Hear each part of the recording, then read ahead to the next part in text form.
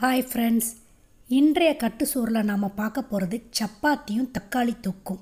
இந்த சப்பாத்திக்கு நான் ஒரு டம்ளர் மாவு எடுத்திருக்கேன். ஏழு ரூபான்னு வச்சுக்கோங்களேன். தக்காளி இப்போ கிலோவே பத்து ரூபா தான். மூணு தக்காளி எடுத்திருக்கேன். ஒரு ரூபா தான். கடுகு உளுத்தம்பருப்பு புளி ஆயில் சீரகம் மிளகு மற்ற எல்லா பொருட்களையும் நீங்கள் சேர்த்துக்கிட்டால் கூட ஒரு பன்னிரெண்டு ரூபா. ஆக மொத்தம் இருபது ரூபா. ஒரு அஞ்சு ரூபா சேர்த்து போட்டுக்கோங்க.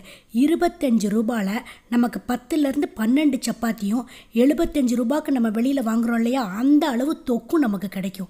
எவ்வளோ சூப்பர் பார்த்தீங்களா?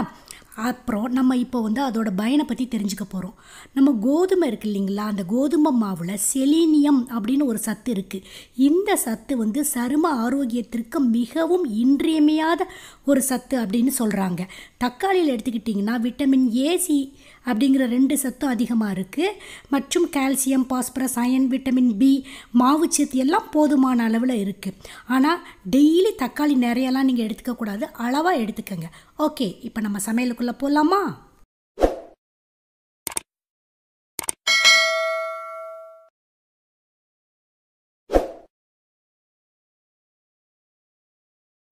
சப்பாத்தி மாவு பிசைகிறதுக்கு நான் ஒரு பெரிய டம்ளர் கோதுமை மாவு எடுத்திருக்கேன். அதுக்கு சின்ன டம்ளர் ஒரு டம்ளர் தண்ணீர் எடுத்திருக்கேன்.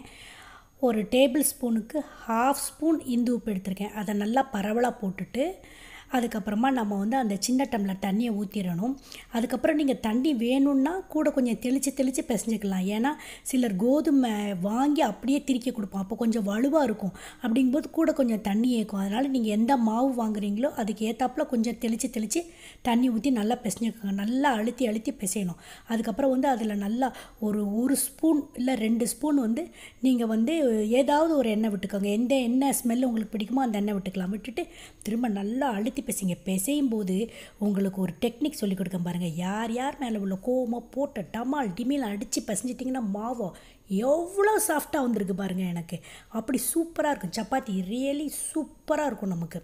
அதுக்கு பிறகு நம்ம வந்து தொக்குக்கு ஒரு நாலஞ்சு தக்காளி எடுத்துக்கிறோம். ஒரு பன்னெண்டு பூண்டு பல் அப்புறம் ஒரு சின்ன துண்டு இஞ்சி கருவேப்பிலை ஒரு ஸ்பூன் பச்சை வத்தப்பொடி ஐஸ்கிரீம் ஸ்பூன் குட்டி ஸ்பூனுக்கு ஒரு ஸ்பூன் சீரகம் மிளகு கடுகு வெந்தயம் கொஞ்சம் இஞ்சி புளி நாலு மிளகா வத்தல்.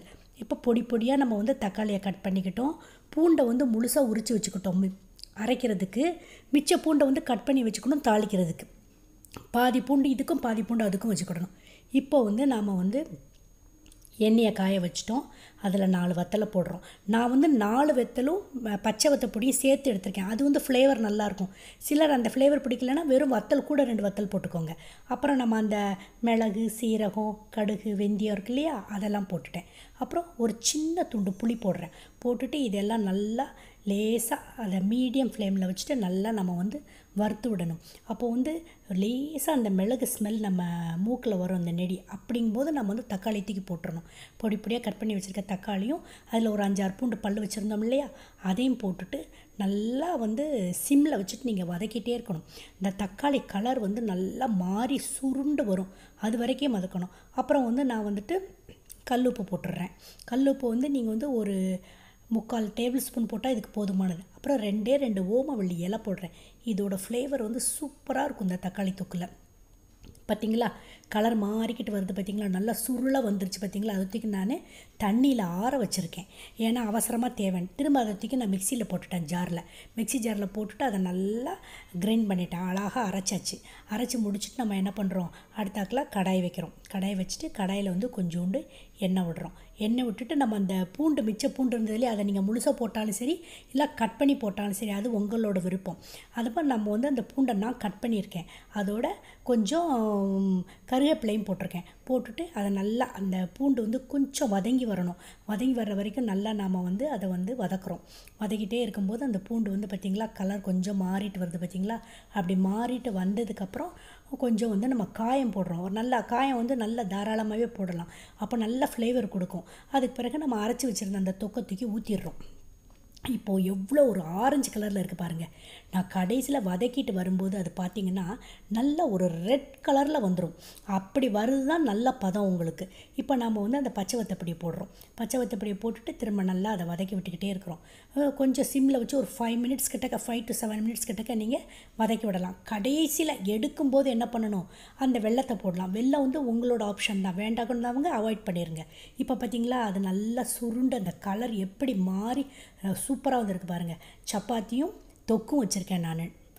லஞ்சுக்கு ரொம்ப நல்லாயிருக்கும் மதியானம் நீங்கள் சாப்பிட்றதுக்கு. இந்த தொக்கை பாருங்களேன் கலரே எவ்வளோ அருமையாக இருக்குன்னு. இதை நீங்கள் வந்து ஒரு மாதம் வரைக்கும் கூட ஃப்ரிட்ஜில் வச்சு சாப்பிட்லாம் தாராளமாக கெட்டே போகாது. இப்போ லஞ்ச் ரெடி ஆயிடுச்சு நமக்கு.